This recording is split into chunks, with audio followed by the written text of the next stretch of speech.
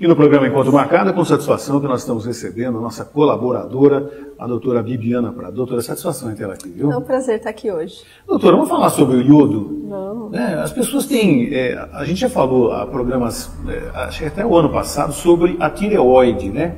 E o iodo e a tireoide, eles estão é, unidos de uma certa forma, né? Não, com certeza, porque o, o iodo ele é um elemento que é utilizado para produzir o hormônio tiroidiano. Que o hormônio tiroidiano a gente tem um que chama triiodotironina, que na verdade é uma molécula de tiroglobulina e três iodos grudados nela. Tá. E a, e a tetraiodotironina, que é o T4, o famoso T4, que, são, que é a molécula de tiroglobulina, e, a, e, o iodo, e quatro moléculas de iodo é, grudadas nela. E esses seriam os hormônios da tireoide. Dessa forma, a, nós temos que ter uma quantidade adequada de iodo no organismo para produzir o hormônio tiroidiano. Né?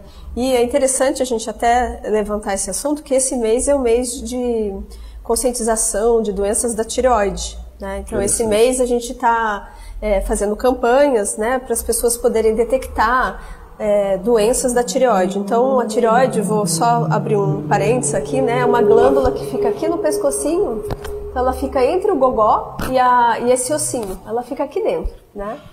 E ela é responsável para produzir o hormônio da tireoide, que tem o iodo junto. E esse hormônio, ele vai ativar o corpo, ele vai acordar o corpo, fazer com que o corpo é, funcione de uma forma adequada. Então eu preciso ter uma quantidade adequada desse hormônio para funcionar de uma forma harmônica. Se eu tenho excesso desse hormônio, eu começo a ficar acelerada, não durmo bem, fico ansiosa, posso perder peso, né? Mas não, necessariamente, Sim. né? E muito, produzir muito hormônio tiroidiano é, leva até um risco de morte, porque pode acelerar tanto o organismo que você vai ter uma fibrilação atrial e pode parar o coração. E as pessoas têm consciência disso? Olha, eu estou passando mal, eu tô, estou acelerado, eu tô, é, que tem a ver com a tireoide? É, a grande maioria das acelerações é ansiedade. Vamos, né? Então, é ansiedade por causa do estilo de vida que a gente está vivendo hoje em dia. Então, muitas vezes a gente está com crise de ansiedade, não dorme tudo, mas é muito parecido com a doença do excesso de hormônio tiroidiano, que chama hipertiroidismo. É muito parecido, né? O, o, pulo do gato que eu falo é assim, eu até ensino meus alunos, eu falo assim, o pulo do gato é você olhar a mão do paciente. O paciente que é só ansioso, ele tem a mão gelada, mão fria, pode ter o tremor, tudo, mas é mão gelada. Agora, o paciente que está com excesso de hormônio tiroidiano, ele tem os sintomas de ansiedade, não dorme, batedeira, mal-estar, pode ter a perda de peso, mas você pega a mão, é aquela mão quente, porque o hormônio tiroidiano está acelerando o metabolismo, né? É lógico que a pessoa que tem o hipertireoidismo, que é esse excesso de produção de hormônio, ela pode também ter um aumento do volume do pescoço. Então, pode ser uma coisa visível. Uma, pode ser uma coisa visível, né? Mas algumas vezes não é visível. Às vezes até o olho salta.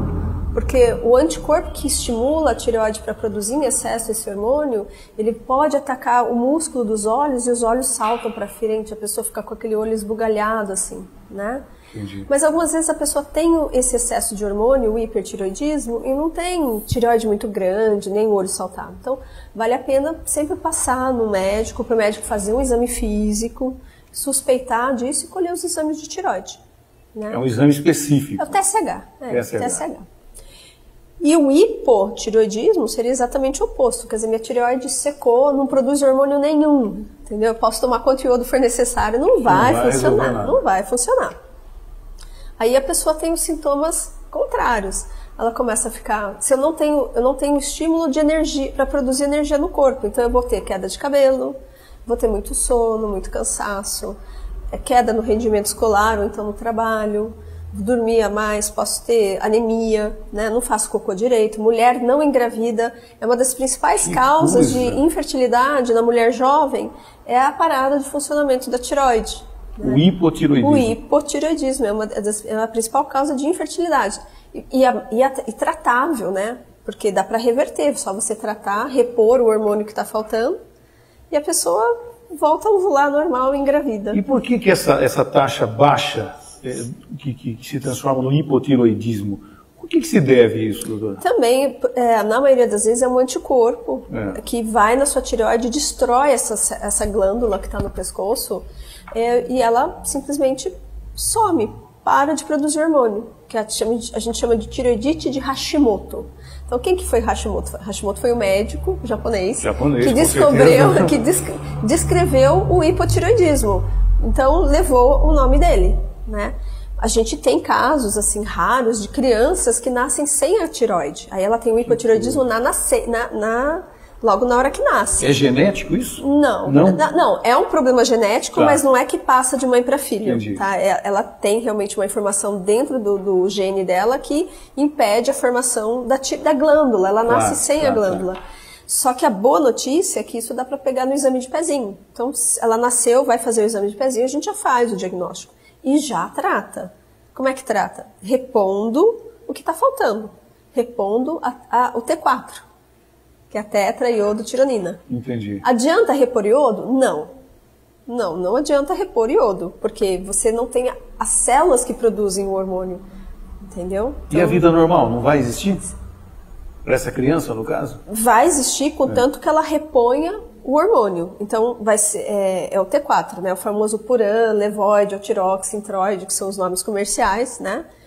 Esse nenezinho vai, vai, vai ter que tomar para repor isso para o resto da vida. O resto da vida. Mas aí é vida normal. Entendi. É vida normal. O que, que acontece se esse nenezinho não repõe hormônio? Se, mãe, se por algum motivo não faz o diagnóstico de hipotiroidismo neonatal, que é do nenezinho.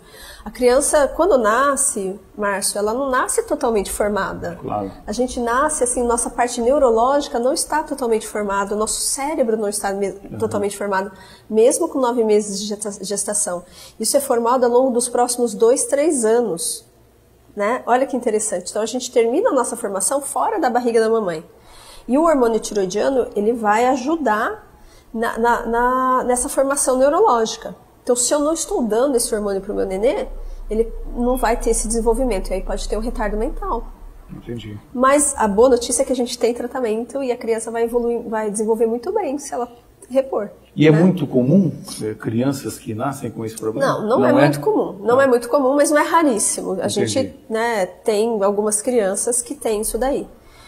E a mulher na, na fase adulta, durante a gravidez, ela também pode desenvolver hipotiroidismo. Por isso que, assim, nós endocrinologistas, a gente trabalha muito perto com as outras profissões. Então, nesse caso, a gente trabalha muito perto com o gineco, né? O ginecologista faz o diagnóstico na mulher grávida de um hipotiroidismo da gestação, e aí a gente repõe o hormônio, porque o nenezinho na barriga da mamãe, ele não tem tireoide até o quinto mês de gestação. Então, eu tenho que ficar dando esse hormônio. Se a, se a mamãe não está produzindo, né? Se a mulher grávida não está produzindo, ela não vai estar tá passando para o nenê. E aí o nenê não vai crescer bem dentro da barriga.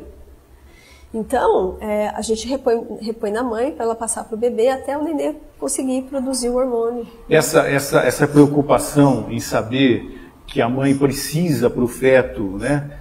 É, é uma coisa recente, doutora? Não, não, não é recente. Não é não, não é recente. Normalmente os ginecologistas eles colhem o TSH, TSH durante a gestação e se ficar alterado eles encaminham para nós endócrinos para a gente poder acompanhar durante a gestação e o pós-operatório e o pós-parto também para ver se vai manter o remédio ou não. Entendi. E é muito é. comum no consultório só ter é, é, pessoas com problemas de tireoide? Nossa, muito comum. É mesmo? Muito comum. Doenças da tireoide eu acho que é, é, é muito prevalente, né? cada vez mais. a gente está tendo cada vez mais pessoas com doenças da tireoide. Não sabemos por quê, mas provavelmente é o aumento de poluição que ela, a, a, poluição por si, ela aumenta doenças autoimunes. O que, que, que, são doenças autoimunes, Márcio? São doenças que o corpo produz um anticorpo, produz uma substância que vai atacar o nosso corpo. Então ele pode, então está aumentando no mundo inteiro o diabetes tipo 1, que é o diabetes da criança e adolescente. É, esses problemas de tireoidites, né, que são as doenças da tireoide, é, vitiligo, é, lúpus, tudo isso está aumentando e provavelmente é porque a gente está sendo exposto a muito químico, que é a poluição, ou então também os conservantes dos alimentos. É isso que eu ia te perguntar. Os alimentos têm papel preponderante nisso também? Os alimentos não, os conservantes. Os, os alimentos artificiais eles têm. Né? Então a gente sempre, quando eu oriento uma alimentação para meus pacientes, eu sempre tento fazer, passar para o mais natural possível. Né? Então comer bastante verdura, é, comer bastante fruta, né? não comer muita carne vermelha, mas comer um pouco de carne vermelha, dar preferência para as carnes brancas e evitar alimentos condimentados, né? Presunto, essas coisas, peito de peru, é, o pessoal fala que quem trabalhou nessas fábricas nunca come essas coisas. Mesmo né? peito de peru, porque o pessoal fala, eu não quero a mortadela, eu não quero presunto, eu quero peito de peru é... que eu sou light. Então, o problema é que o peito de peru ele é feito com o resto do resto do resto do peru. Então, não tem a carne ali, né? O, talvez o, o mais interessante seria você comprar carne de peru mesmo, assar e cortar ela fatia fininha, né? Dificilmente então, é, vão fazer isso. Dificilmente vão fazer isso, né? Então, tem o rosbife, né? Que o pessoal compra, uhum. é, você cozinha, tempera ele bonitinho e você corta fininho, ele vai substituir o presunto. É que hoje em dia a gente está com muito pouco tempo para tudo, né? A vida está muito acelerada e, e a gente procura as facilidades, né? Procura as facilidades e aí infelizmente essas facilidades não são tão saudáveis. Entendi. Existe um movimento hoje em dia que chama mindfulness, que é justamente você estar tá presente nas atividades que você vai fazer. Porque hoje em dia, como a gente está muito acelerado trabalhando, o que, que eu faço? Eu como pensando no meu trabalho, vendo o meu celular, eu dirijo eu dirijo para casa, mas eu estou pensando na compra de supermercado. Então, eu não estou presente na hora em que Existe estou fazendo aquilo. Uma concentração no que você está uma fazendo. Uma concentração. Então, até escrevi um artiguinho essa semana que vai sair numa revista aqui de Botucatu, justamente sobre o mindfulness, né? Que é a importância de você estar presente. Como assim? Eu tenho que estar totalmente de corpo e alma presente naquilo que eu estou fazendo naquele momento. Né? Então, nesse momento, eu estou conversando com você. Eu não vou pensar que eu tenho que pegar meu filho na escola, outra coisa. Eu estou concentrada nisso. E esse movimento, ele é interessante, porque a gente trabalha isso muito no consultório para pessoa na, na parte da alimentação, por exemplo. Porque normalmente as pessoas que ganham peso, elas estão comendo muito rápido, elas não estão prestando atenção no que elas estão comendo, elas estão simplesmente engolindo, engolindo, né? Isso acaba engordando, dando problemas intestinais, porque você não digere direito a alimentação. Não existe prazer no que você está comendo. Né? Isso, né? então tem, tem, uma, tem um movimento que chama Mindful Eating, que é justamente o comer consciente, né? Eu vou comer, então eu vou estar aqui para comer. Não vou ficar pensando nos filhos que estão, né? Não vou ligar a televisão. Você não vai conseguir resolver, então coma, né? Coma devagar. Então eu estou aqui comendo. Então no momento que eu estiver dirigindo para o trabalho, eu estou dirigindo para o trabalho. Eu não vou dirigir pensando nas coisas que eu tenho que fazer lá.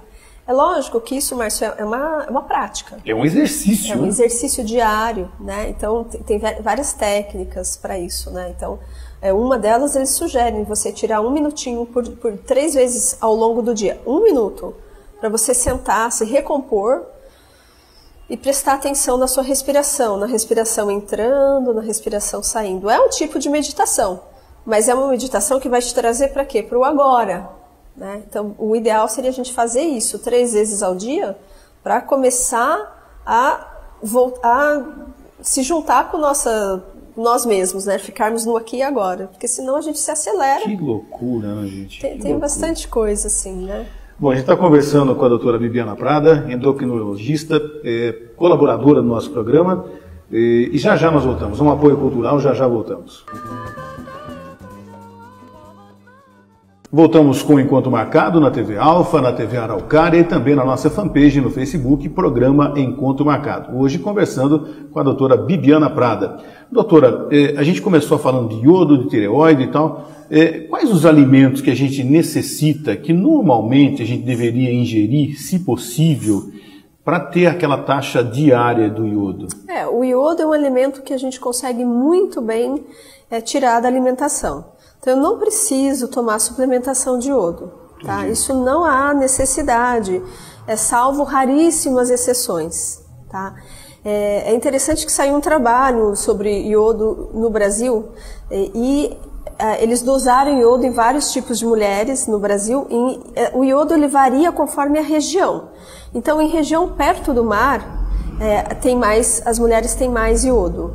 Em regiões mais longe do mar, as mulheres tem menos iodo. Talvez, se você estiver no meio de um sertão, talvez fosse interessante você repor o iodo em forma de comprimido. mas é muito variável essa a brisa marinha, o sal marinho que vem através da brisa. É, é interessante. A grande fonte de iodo é o, é o mar, né? Então são os frutos do mar, né? Aquela alga japonesa riquíssima em iodo. Então você fala assim, qual é a melhor fonte de iodo? É aquela alga ja- japonesa que tem no sushi. Ela é riquíssima em iodo, né? Os frutos do mar também, né? Então eles também têm bastante iodo. Os peixes de água salgada do mar também têm bastante iodo. Tirando isso, a gente encontra iodo nas verduras escuras, a gente encontra iodo no leite, numa quantidade bem menor. Mas tem. Se você tiver uma alimentação, de novo, na- mais natural, né, com os alimentos naturais menos e e diminuir os alimentos industrializados, eu vou ter um aporte adequado de iodo. O sal marinho, na hora que ele é feito, ele, perde um pouco esse iodo do mar. Né? Então, o Brasil ele costuma iodar o sal. Existe uma lei no Brasil em que, você, em que o, o, as empresas que fabricam o sal elas são obrigadas a colocar iodo dentro do sal. Porque antigamente, realmente, a população que vivia fora desse parâmetro do litoral tinha deficiência de iodo. Então, o que, que acontece? Se eu não tenho iodo, a minha tireoide não produz o hormônio da tireoide. Como a gente falou no primeiro Entendi, horário, entendi. a gente precisa do iodo para produzir o hormônio. E aí a tireoide começa a querer trabalhar muito, trabalhar muito, e ela cresce, e vira aquele bócio, aquela, né? Então a gente não pode confundir a nossa papa, que é gordurinha aqui embaixo, com o bócio de falta de iodo. é Antigamente era embaixo. até comum a gente ver pessoas com esse bócio, né? Isso, isso era antes do- de existir uma lei em que é Ah, obrigado que a iodar o sal que a gente compra, sal de cozinha. Então ele tem já um aporte adequado de iodo. Entendi, né? entendi. Então, é, se você pode, se você comer o sal, você já vai ingerir um pouquinho, um pouco do iodo. Se você ingerir o leite, principalmente folhas escuras e frutos do mar e peixes também de água salgada. E, ou, e- ou na pior das hipóteses, você compra aquelas as folhas mesmo, as algas e, e come, pode pode, comer né? a alga, é tranquilo, né? É super É comum saudável. o paciente chegar no seu consultório, é o TSA que a senhora faz? TSH. TSH. É, TSH. de que é o exame tireoide, específico é, para tireoide. Hormônio tiroidiano. É. É, de perceber que ele está com falta de iodo, no caso aqui em Botucatu, Não, tanto que assim, a Sociedade Brasileira de Endocrinologia não recomenda a gente ficar dosando iodo para as pessoas, tá? É, a principal causa do TSH alterado é o hipotireoidismo de Hashimoto. é o excesso. Não, não tem nada a ver com iodo. Também é um não. anticorpo que é produzido e ele vai lá na tireoide e destrói a tireoide. Entendi. N- Não é muito comum a gente ter um hipotireoidismo por falta de iodo. A gente não vê isso muito com muita frequência, entendeu? É, como eu te falei, é bem variável. Aqui na nossa região de Botucatu, não, assim, não tem tanta deficiência de iodo. A gente nem está tão longe do litoral, né? Para ter esse tipo de coisa. Né? Tá, Então, não se recomenda ainda a gente ficar dosando iodo na urina, porque a- a- o melhor método para dosar iodo seria o urinário, né? nem no sangue. Né? Então, é, e- então a gente acaba não precisando fazer isso. Eu vi outro dia numa rede social uma postagem sua a respeito de um medicamento, Lugol. O Lugol. É. é. Existe uma corrente de charlatães, né, que eles inventam de repor algumas coisas sem fundamento científico adequado. Porque uma situação é o que acontece na célula, eu pego, vou no laboratório, isolo uma célula e dou uma substância para ela e vejo o que acontece. Tá? Então, isso é uma, é, uma medicina, é uma pesquisa básica que é feita por né, cientistas de, de, de cadeira básica, né, de ciência de balcão. Entendi. A outra coisa é eu dar essa substância por um ser humano. A outra coisa é eu dar essa substância para um ratinho. Então não é porque uma substância vai fazer a célula funcionar de um jeito que se eu der por, boca para um ser humano ela vai funcionar. Não é porque no ratinho funciona de um jeito que para o ser humano vai funcionar. Então, Existe uma. então, eu não posso extrapolar o que eu vejo na, na célula, numa pesquisa celular para um ser humano. Eu também não posso extrapolar o que acontece no ratinho para o ser humano. Eu tenho que fazer um caminho. Eu começo avaliando a célula, depois eu, eu faço exames, experimentos em animais e depois eu faço experimentos em humanos para ver se é a mesma coisa. Nem sempre é a mesma coisa, né? Então, é, tem uma corrente que, que, que fica dando lugol. Eu, sinceramente, não sei nem para quê, né? Entendi. Que eles vão achar que vai melhorar o metabolismo. Só que o que eu vejo é que às vezes chega no consultório pesso- pessoas tomando Lugol com a tireoide não funcionando. E isso eu até te explico por quê. Então, de novo, o iodo, o Lugol é o iodo. Né? O Lugol é o próprio iodo. O, o iodo ele serve para produzir o hormônio da tireoide. Tá. Então, se eu tenho falta, eu não vou produzir direito. Mas se eu tiver excesso de iodo, a minha tireoide fica intoxicada e ela para de funcionar também. Então, é, se eu ficar tomando Lugol, eu posso intoxicar minha tireoide de iodo e ela parar de funcionar. Ou ao contrário, ela de repente ela começa a funcionar demais, demais, demais e eu tenho hipertireoidismo com risco de, de uma fibrilação atrial e morte. Então a gente não recomenda. Quer dizer, quando chega um paciente que está tá, antes da sua primeira é, consulta com, com ele, ele está tomando Lugol. É, por algum motivo, ele viu na. É, e Google, foi lá para ser seu paciente a primeira consulta. É, e aí? Então, aí, e aí ele, ele pode chegar na consulta é. passando muito mal. Entendi. Né? E aí, é, durante a consulta, eu vou perguntar os antecedentes pessoais, os medicamentos que eles utilizar, que ele utiliza. Então, isso é uma tá. consulta médica, né? claro. né? Não vou. E aí vou examinar o paciente. Então, é, tem alguns pacientes que chegam no consultório, aí eu descubro que eles estão usando Lugol e a queixa deles é assim, ai, doutor, eu tô. Ele pode estar com uma queixa de hipertireoidismo, de excesso de produção de, de hormônio. Né? Então, ai, doutor, eu tô ansioso, não tô dormindo, é, tô com batedeira, minha mão tá tremendo, tudo. Por quê? Porque ele está tomando Lugol e o Lugol está provocando um excesso de, de produção de hormônio. Agora, ele também pode estar, é, dependendo do paciente, dependendo da informação genética que ele uhum. tem, ele pode estar tomando Lugol e a tireoide dele simplesmente parou de funcionar. Ai, doutor, eu tô, tô me sentindo cansado, não tô dormindo bem, tô com anemia. E aí você vai ver o que, que é, estava tomando Lugol. Aí você tira o Lugol e você resolve o problema. Aquelas duas gotinhas que realmente a gente pede para não tomar. Que não loucura, tem por que né? utilizar Lugol. Isso aí normalmente é o boca a boca, né? Que se, é... vai se espalhando, esse charlatanismo, que esse infelizmente charlatanismo, existe. É. Rede social que acaba propagando esse tipo de coisa. É, né? e a gente tem um problema muito sério, porque tem alguns médicos charlatães que eles são muito ricos. Então, Imagina. eles têm uma mídia social muito pesada. Então, eu acho que é, seduz uma pessoa que não tem. não sabe do que quer, é, né? Nossa, mas olha, fulano de tal, puxa, ele é tão bem apessoado, ele fala bonito, né?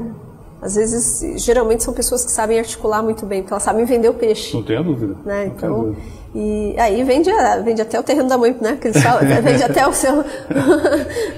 Vende a mãe. E consegue, né? Se, né? Consegue. Vende até a mãe se, se quiser. Que loucura, São pessoas que, né? infelizmente, então a gente tem que tomar muito cuidado com, com essas informações em mídias sociais. A gente tem que checar, né? Não, não procurar numa fonte só, né? Por mais sedutor que seja, não, não tem milagre nessa área de, de, da endocrinologia, né? E procure um profissional, né? Faça um, uma consulta adequada, é, E antes de procurar o né? profissional, eu acho que é, é importante você também pegar referências desse profissional. Claro. Porque hoje em dia, na área de endocrinologista, a gente tem alguns profissionais que eles colocam na, no, no, cartãozinho dele dizendo endocrinologista. Mas é uma pessoa que não tem título de especialista, porque para você ser endocrinologista, você tem que fazer residência. Aí a gente faz uma prova que é difícil para tirar um título, para provar que a gente sabe alguma coisa né? Então você faz medicina, aí você faz residência, aí você presta prova, né?